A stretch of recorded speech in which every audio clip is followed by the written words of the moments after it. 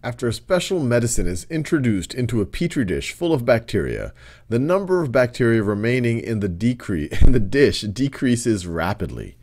The relationship between the elapsed time t in seconds and the number of bacteria n of t in the petri dish is modeled by the following function. All right.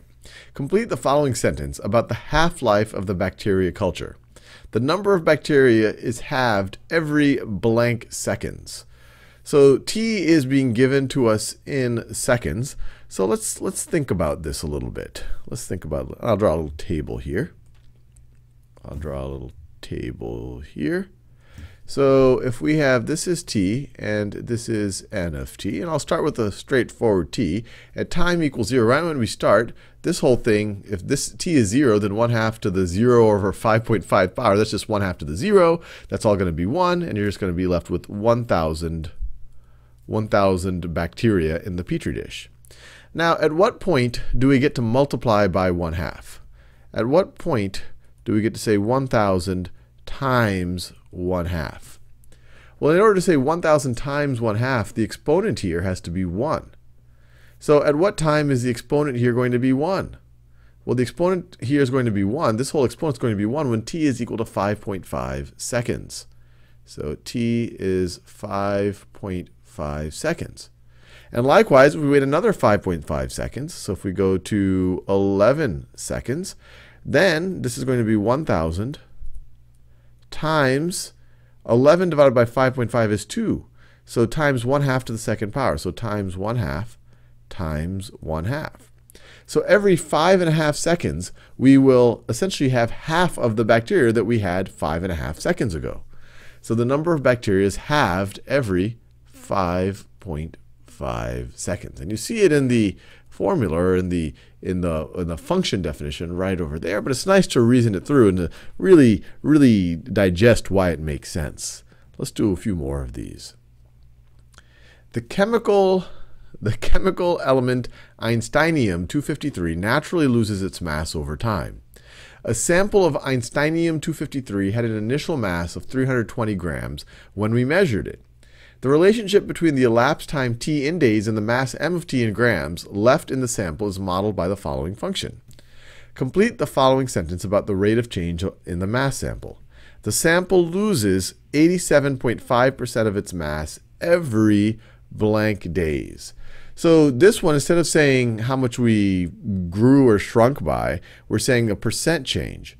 So if you lose 80, if you lose if you lose 87.5%, that means that you are left with left with 12.5%. 12.5%, which is the same thing as that you have is the same way of saying that you have 0.125% of your mass. So another way of thinking about it is the the sample has the sample is 0.125 of its mass, of its original mass, or how long does it take for the sample to be 0.125 of its mass? And there we could do a similar, a similar idea. You see the 0.125 right over here. And so I could draw a table if you like, although I think you might guess where this is going. But let me draw a little table here. So t and m of t when t is 0, m of t is 320. And so at what point is t, at, at what time is m of t going to be 320 times 0.125? Because this, going from this to this, that is losing 87.5% of your mass. Losing, losing 87, I'll use, so let me just write it this way. So this is minus 87.5 percent of the mass. You've lost 0.875 to get to 0.125. So this, you could just use 0.125 to the first power. So what, what t do you have to make this exponent equal 1? Well, t has to be 61.4. 61.4, and where t is in days. 61.4 four days. Now you might be tempted to always just pattern match. So oh, whatever's in the you know whatever's in the denominator here. But I really encourage you to think about it because that's the whole point of these problems. If you just are pattern matching these, well, I don't know how helpful that's going to be for you. Let's do one more of these. Howard started studying how the number of branches on his tree grows over time. The relationship between the elapsed time t in years since Howard started studying the tree and the number of its branches n of t is modeled by the following function. Complete the following sentence about the rate of change in the number of branches. Howard's tree gains four fifths more branches every blank years. So gaining, gaining four fifths is equivalent to multiplying, multiplying by, and you're gaining four fifths of what you already are. You're not just gaining you know, the number four fifths, you're getting four fifths of what you already are. So that's the equivalent of multiplying by 1 plus 4 fifths, or 9 fifths.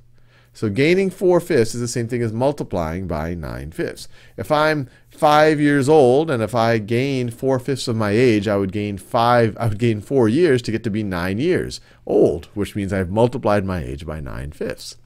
So Howard's tree, you could say, grows by a factor of 9 fifths every how many years?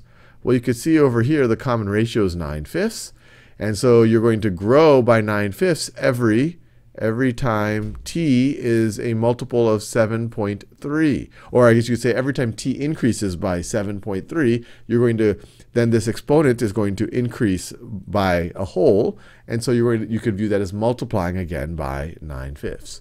So Howard's tree gains 4 fifths more branches every 7.3 years.